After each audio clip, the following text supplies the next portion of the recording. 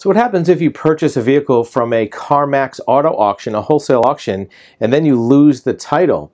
Well, typically, CarMax will sell vehicles that they don't want to keep for their retail inventory, maybe too old, too many miles, maybe the condition's not that great, and they'll sell it at a wholesale auction, usually only to licensed dealers, but sometimes to individuals. So maybe you bought that car from the auction, maybe you bought it from the dealer who bought it from the auction, and they either gave you a title and you lost it, or maybe you never got one to begin with.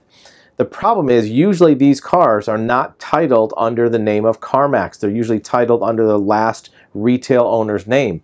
That person may have no connection with the vehicle and legally they're still the owner until it has a new title issued in your name.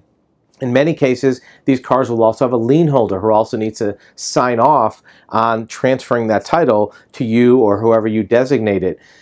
CarMax is better than most auctions in being able to track down a title if you lose it. They may charge you a fee because they're going to have to spend some man hours and legwork to track that down, but better than most auctions, they have people in a title department that can maybe help you out with that. The time frame is pretty long.